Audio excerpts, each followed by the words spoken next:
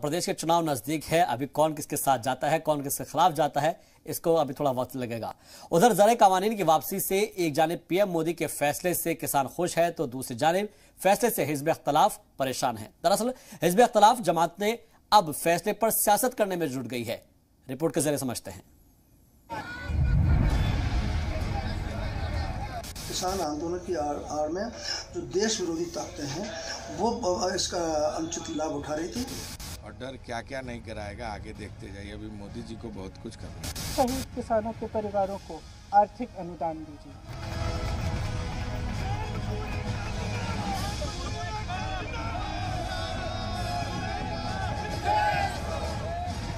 यानी जरे कवानीन को रद्द करने का फैसला सरकार ले चुकी है।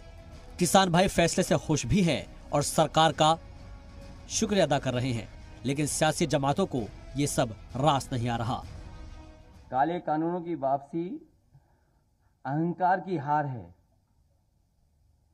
ये किसानों की जीत है, लोकतंत्र की जीत है। जनता इन्हें माफ़ नहीं करेगी। इन्हें साफ़ करने का काम जनता करेगी आने वाले समय में। जराई कवानीन पर तारीखी फैसले के बाद से ही अपोजिशन का चेहरा उजागर हो चला है। तहरीक की बुनियाद से ही सियासी नफा जुटाने में लगा अपोजिशन। कानून वापसी होने के ऐलान के बावजूद किसानों के साथ साथ आम आवाम को भी भड़काने की जुगत में है। तभी तो बीएसपी सदर मायावती हो या फिर कांग्रेस जनरल सेक्रेटरी प्रियंका गांधी अपनी सियासी रोटियाँ सेकने के लिए ठंडी होती तहरीक की आग को सुलझा रही है। लखीमपुर किसान नरसंहार मामले में पीड़ितों को न्याय दिलवाना भी आपके लिए सर्वोपरि होना चाहिए। शहीद किसानों के परिवारों को आर्थिक अनुदान दीजिए। करीब एक दहाई से इकतदार से दूर रहने वाली बीएसपी सुप्रीमो मायावती किसानों के नाम पर कैसे सियासी बखेड़ा करने की कोशिश में है, इसकी बानगी मायावती के ट्वीट से देखिए। सनीचर की सुबह बीएसपी सुप्रीमो ने एक के बाद एक तीन ट्वीट कर कानून वापसी के फैसले पर ही सवाल खड़े कर दिए। मायावती ने ट्वीट किया, मुल्क में तहरीक के बाद तीन मुतनाज़ जराई कवानीन के वापसी को मरकजी हुकूमत के ऐलान का देर आए दुरुस्त आए, ये कहकर इस्तकबाल किया गया। लेकिन इसे चुनावी मफाद और मजबूरी का फैसला बताकर बीजेपी सरकार की नियत पर भी शक ज़ाहिर किया। लिहाजा इस बारे में कुछ और ठोस फैसले ज़रूरी है, इस बात का भी ज़िक्र किया।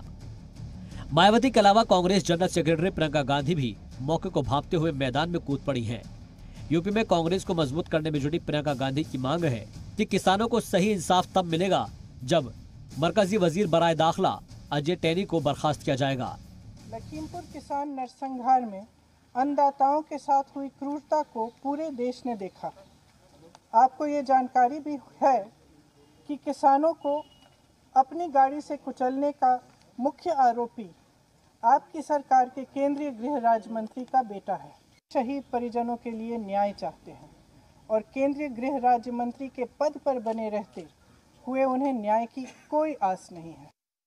दरअसल ऐसा माना जा रहा है कि शुरुआत से ही सभी विपक्षी दल किसान आंदोलन में अपना नफा ढूंढ रहे हैं। सभी विपक्षी दल ये चाहते हैं कि इस आंदोलन की आग चुनाव तक धधकती रहे, ताकि किसानों से सहानुभूति रखने वाला मध्यम वर्गीय वोट बैंक बीजेपी से छिटक जाए।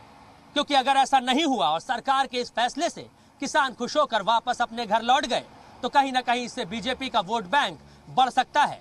इसीलिए विपक्ष इस ऐतिहासिक फैसले पर भी अपने सियासी संभावनाएँ तलाश रहा है।